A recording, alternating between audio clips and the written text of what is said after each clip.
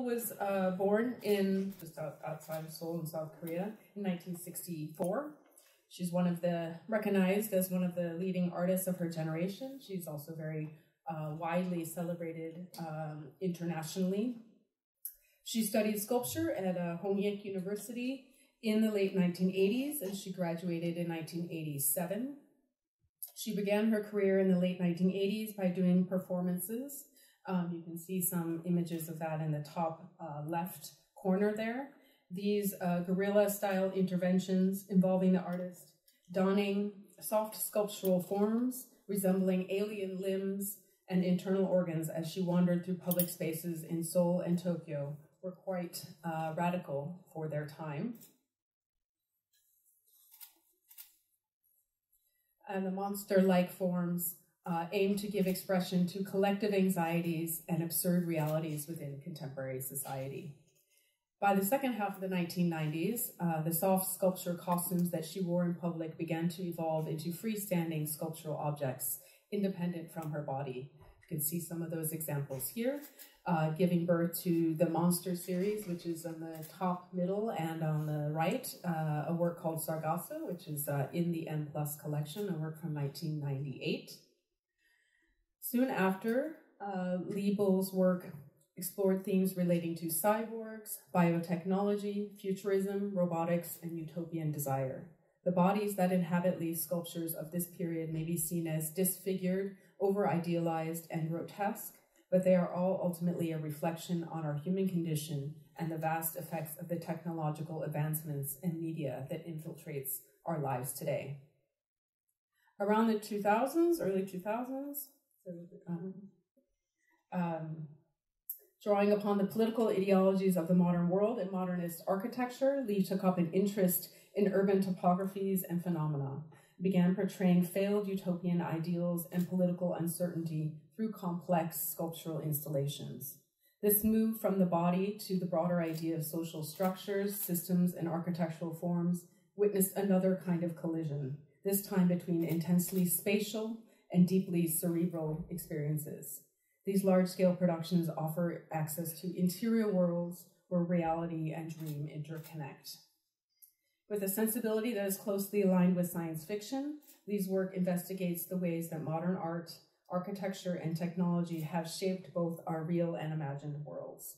It is this intersection between real and imagined that led me to uh, include her in the current exhibition, so really, we are all gathered here in, mainly because uh, there is an exhibition going on right now at the uh, M Plus Pavilion, uh, which I have put together. Uh, five artists, uh, sites encountered. Um, Lee Bul is, of course, one of these artists. Uh, this is an exhibition that looks at the ways in which art is in regular, um, if not constant, conversation with site, place, and surroundings. On the show, uh, as you can see, these are the, the other artists that are featured in the exhibition. It spans multiple generations and geographies, and artists who are working in diverse practices who various who offer various interpretations of sight that range from tangible to intangible, imagined to real, and who encourage us to think about our relationships to place, the earth beneath us, and the societies that we inhabit. So ideas of site and place are very much at the center of uh, Lee's uh, practice, particularly the group of uh, maquettes, which are shown uh, in the exhibition currently. Um, these are models of real and fictional buildings, um, real, which refer alternately to uh, concepts of Russian constructivism, uh, modernist architecture, and in some cases are studies for her own large-scale installations. By representing outsized ambitions in small and intimate forms, Lee underscores the relationships between actual reality and projected imagination and points to the ways in which we look to the past to inform the present. Please uh, join me in join me in uh, welcoming Cole and Lee Bul for their conversation. Okay, thank you all for being here. I want to thank Pauline for giving me the opportunity to participate in this. Really looking forward to the conversation.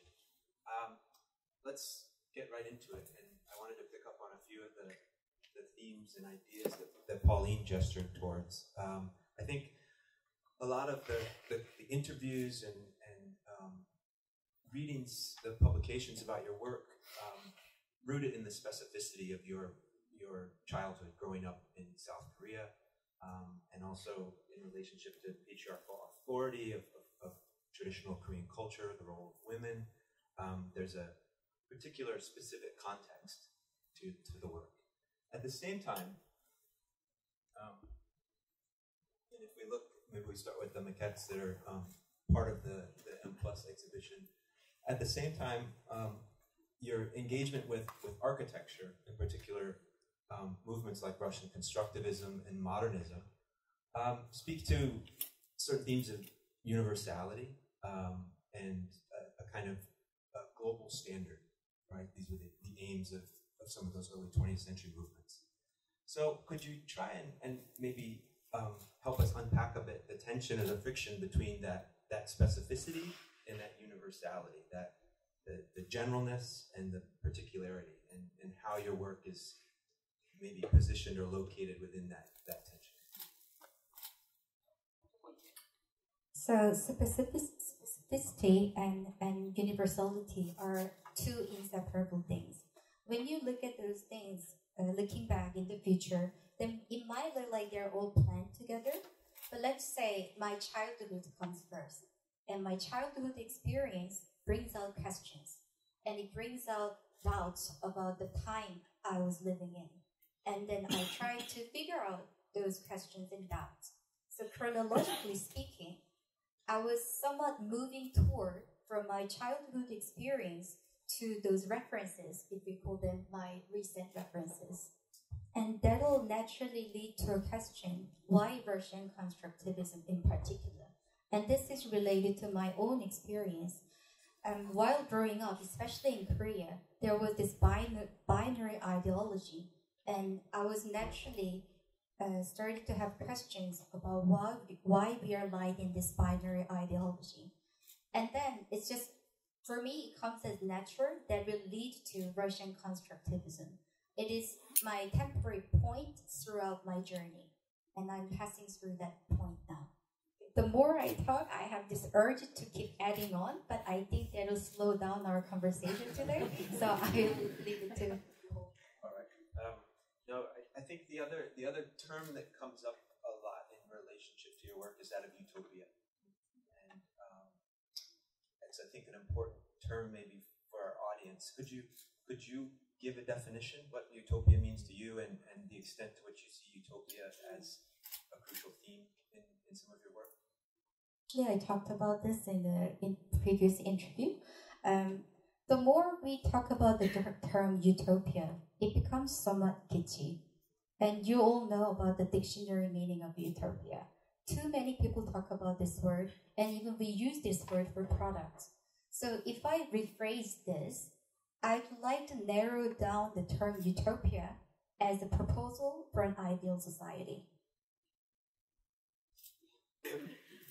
I was really struck when I when I visited the show, of course, by the work and um, particularly by uh, the scale of the work and the variation of, the work uh, in relation to scale. So um, the other thing I was struck by was um, I couldn't help but think this is someone I wonder if she ever wanted to be an architect. And of course, architects, I think, often uh, there's a tendency on the part of architects to maybe think of themselves as artists. Someone like Zaha Hadid, for example, or Frank Gehry. Uh, and I wonder if architecture was something you ever considered uh, as a profession and, uh, or a career. So I actually talked about this with uh, my previous interview, but I'll share my stories with all the other people who haven't heard that story. Officially, I am the architect, and I always say architect is my favorite job. But at the same time, I'm also very thankful and somewhat relieved that I'm not an architect. And this is because um, the biggest difference, what I think, between artists and architects is no matter what ideas do you have, there's this big part for architects that's called human beings, or so to speak, clients. artists do not have that. I can work for myself or I can work for no one at all. So for that, I'm grateful. The only person you have to satisfy is yourself as an artist. um, that, leads, I think, us into a useful, a useful segue. Um, one of your more explicit references to architectural history and, and modernism in particular is this piece. Um, after Bruno Taut, Beware the Sweetness of Things. And incidentally, this work was just installed at Tai Kwun and will be on display through the end of the year. Um, so I encourage everyone to visit.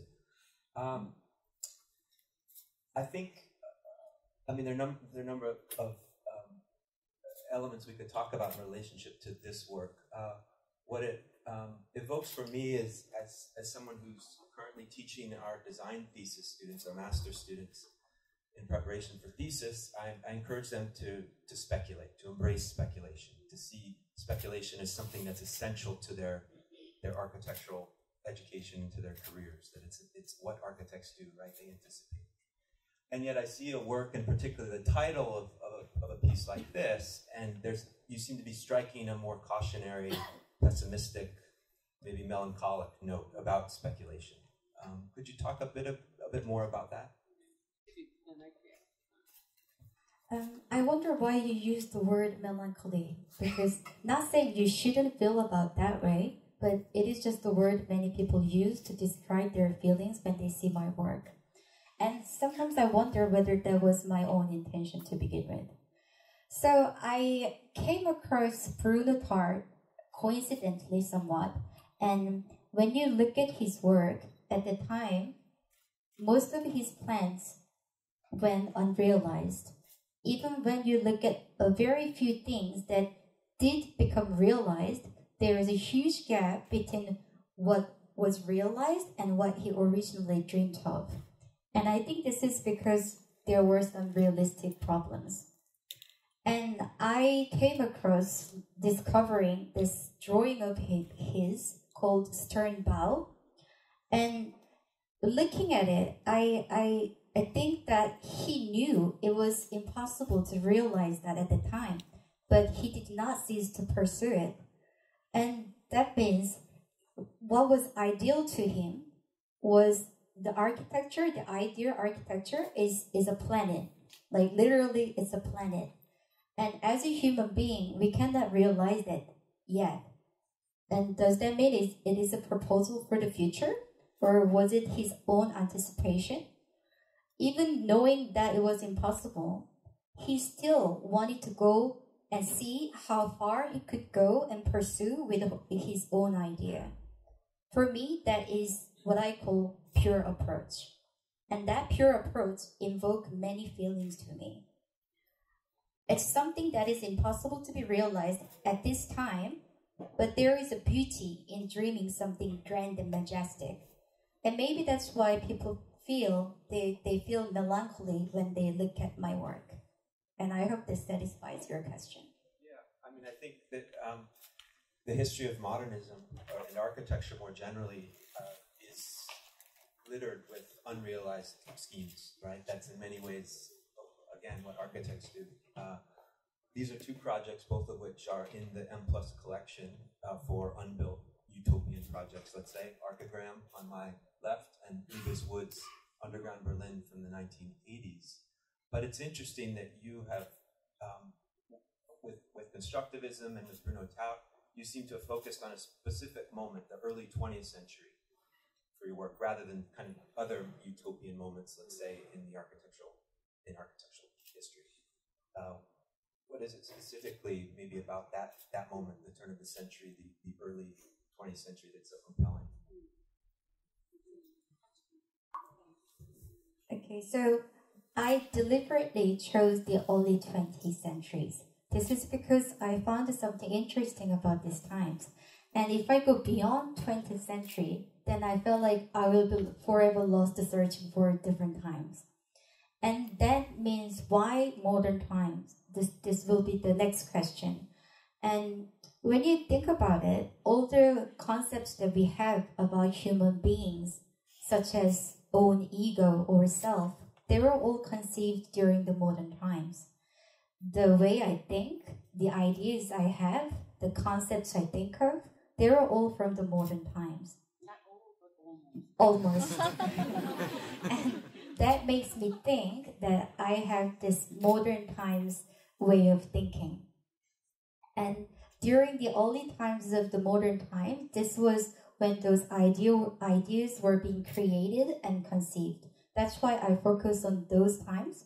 But it wasn't like I focused on those specific times from the early early years of my career. I just started to tracing back from what is close from the present point, and that became the modern times, the early modern times. Um, when we when you look at my early works such as Mon Grand Récit, um, you see how plywood came to be utilized in, in, in our daily life. And I was wondering and I became curious where those ideas started. And that led me to constructivism.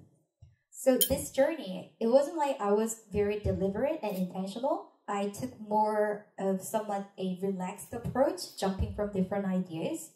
Um, but when you look at my studies or, or all the references that are somewhat explicitly appearing in my works, um, that's why I think you asking me uh, why modern times is specifically.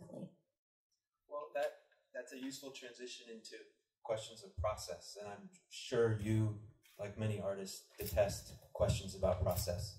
but if we could just talk a bit about this work in particular, which is also in the M Plus show, um, and specifically, I'm thinking uh, about the, the the process of assemblage, of the putting together of parts. And uh, what struck me when I saw this work was um, it, it, reminded me of, a, of a, an essay by Adolf Loos called Building Materials. And in that piece, he talks about how when people talk about material, what they're really talking about is labor, work, and the, the, the labor that's required to actually produce that material, put that material together.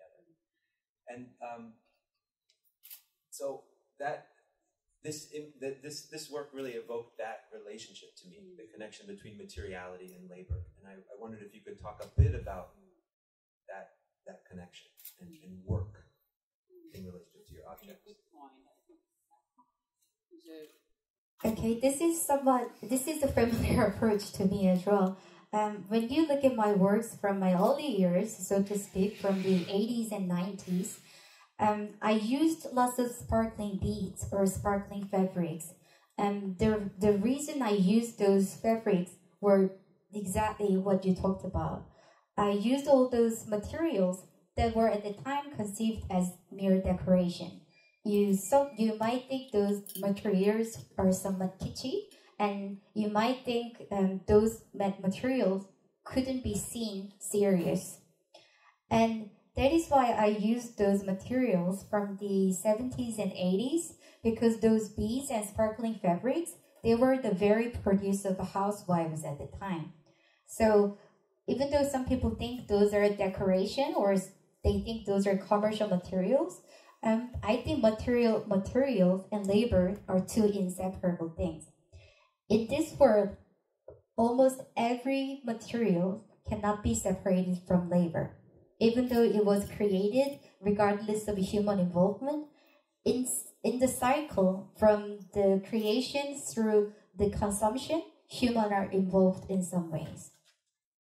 And that brings me to a question to what extent we should try to see the context of materials. And for this work, I used uh, the materials intentionally. And this is the exact same materials I used for Sternbau. And some people just thought this was decoration. Some people even said it looked like chandelier, which I didn't like. And this is, for me, another version of stun bao. And it's just same materials, but expressed in a different way. And some people think it's just decoration, or some people see it as architecture or something structural. But those who see my this work as mere decoration, it means they cannot see beyond the decoration. And this is a very easy trap many people can fall into. I think the, the other question related to process I had was again um, tying back to this idea of scale and um, how you work through models. Um, I wanted to ask you a bit about um, which comes first. Uh, do you begin with, with a drawing? You with a model? With a model, do they both do they both kind of materialize at the same time? How many models might you complete on average for, for, for work such as Thaw? Um, can you can you walk us a bit through the relationship between the models and the and the the um, completed uh, life size work? Um, it depends on ideas. Um, I usually start from drawings and I write down all the details about what I imagine and what could be realized in my drawings. And the reason why I started to draw first is because of the characteristics of sculptures.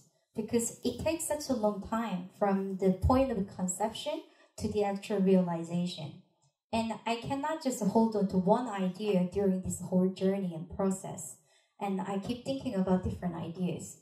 So that's why I write down all the details of what I'm imagining at the time through my drawings.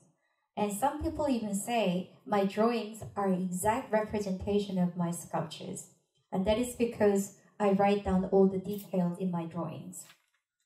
But on the other hand, there are some cases when drawings cannot make it, uh, drawings are not clear for me to see what my work could be when it's finally realized. And then I test on models.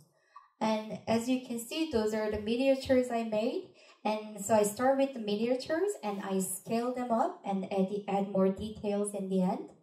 Um, but some in some cases, I ended up making about 20 models because I couldn't find the direction I wanted to pursue.